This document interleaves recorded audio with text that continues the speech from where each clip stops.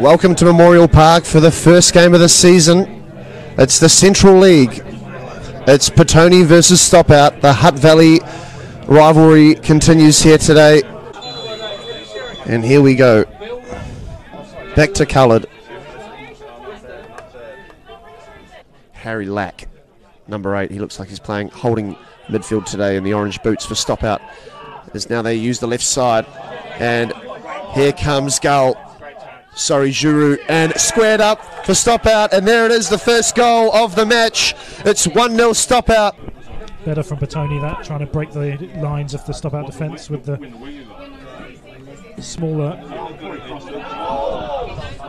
And it was a shot in the end by Isaac Snell, and more pressure.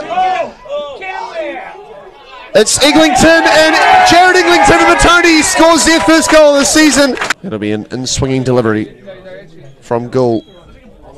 Just on the angle on the left side. It's a great ball in and uh, met with the head. And that'll be stop out second goal. It's Reed now on the left side, cutting in, getting a shot away, and it flies over the post. Great work from Oliver Pickering once more, who now releases Wycliffe down the right side.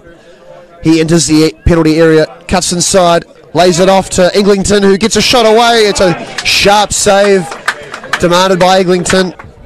As the first half comes to a close here at Memorial Park, the score is 2 1 to the away side. Stop out. And here we go.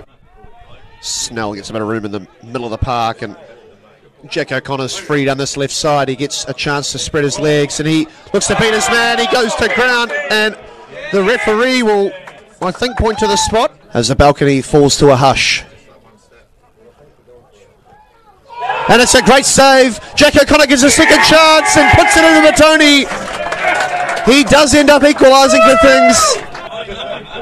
Lack getting pressured from the Petone midfielder. And here he is, Stuparic. His first chance in a blue shirt. And it's a great save from Scott.